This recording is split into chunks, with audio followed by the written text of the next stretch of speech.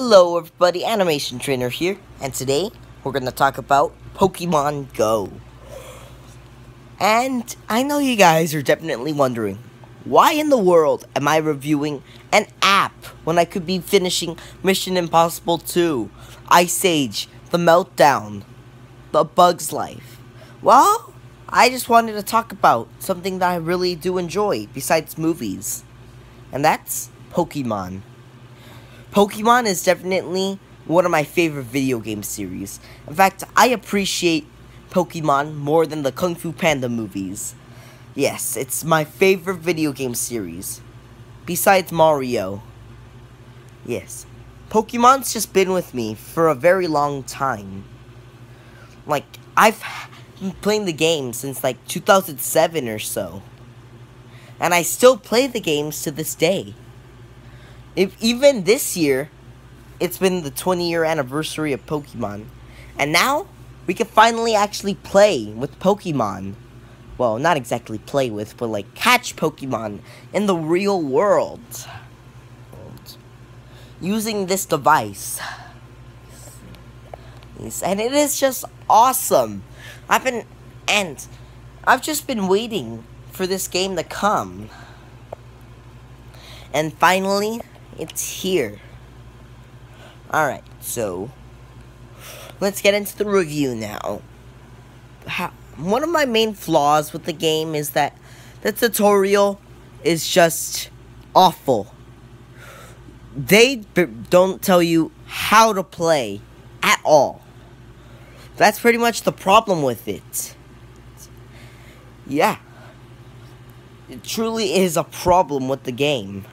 In fact, in order to know, in order for me to know how to play the game, I had to get advice from people and look things up just to play the game. Isn't that ridiculous? I mean, I shouldn't have to, like, let's compare this with the movie. I shouldn't have to look things up every once in every time every like minute in the movie just to know what's going on. Yeah. It's kind of like that. Okay, not that bad, but like sort of like that. Uh, yeah, that's pretty much my main issue with the with with the game. Yeah. But if there is something else I don't like about the game, it's the egg system. I won't say that it's exactly bad or anything. I'm just saying I don't really like the fact that I don't really like the fact that if you go by car or if you go way too fast on the bike, it, it doesn't count it as steps. I thought that was a, a little bit ridiculous. Well, more of the bike thing. I mean, in the Pokemon games, you actually have to ride on your bike sometimes in order to hatch your eggs. Because, well, it's just faster. But here, if you go too fast, it doesn't, it's gonna think that you're cheating and driving. Yeah. That's something I don't like about the way that they handle it. Yeah. Alright. And that's all the flaws for now. Now with the positives. Well, of course there's gonna be positives. You can play with your favorite pocket monsters now. I even caught myself an Eevee. Eevees are adorable. Get the Eevees. Okay. Another thing I really like about this game is, well, the motivation. Now a lot of people are starting to go outside more. Simply because they want to go search for the Pokemon and not and I've traveled to many more places because of this game. There's certain Pokestops where you could get certain items where you have to wait till you level up in order to get. Yeah. Another thing, but oh yeah, and addi- an additional flaw I have with it uh, with the game is pretty much well, the way you have to level up your Pokemon.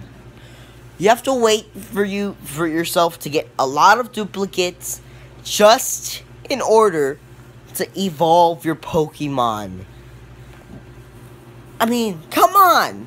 Maybe if you fight enough, that would work better, but no. No. you have to get a lot of duplicates. Wow. Isn't that cool? Especially if you're trying to evolve a rare Pokemon. That's ridiculous. Come on. Okay, now we're done with the ridiculous stuff now. Alright, let's another thing I do enjoy with Pokemon Go is the I the AR system, I believe it's called. Whenever a Pokemon pops out, which you could see through all the photos I'm showing you, you actually get to see the Pokemon in the real world. And you get to kind of like take a lot of pictures of them and kind of make it look realistic. That's something I do enjoy with this game. Really does work. Yeah. But yeah, I just really love this this app. You should get it, even if you're not a fan of Pokemon. I got a lot of non-Pokemon fans to get the game, and they love it. Even if you're not, like I said, if even if you're not a fan of Pokemon or don't even know what Pokemon is, you should still download the app. But I'm gonna warn you. Listen, you better pay attention to this little thing that I'm showing right now. If you don't listen to it, you're gonna get yourself killed. Many people aren't following this rule, and it caused and it caused danger to them. So you better listen to this rule. And I'm telling you, you better listen to it. And this is mostly so I don't get sued.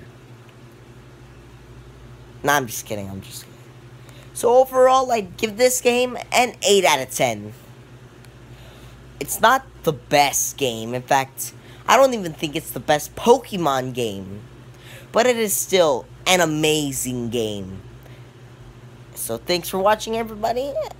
And I'll see you guys next time. And I've decided I'm going to do a, like a, um, like a Pokemon marathon where I'm going to review all the Pokemon generations. Because I'm trying to play through all of them. But it'll be slowly, though. Like, it might be a month before you see the next review of it. So, thanks for watching, and I'll see you guys next time. So, goodbye.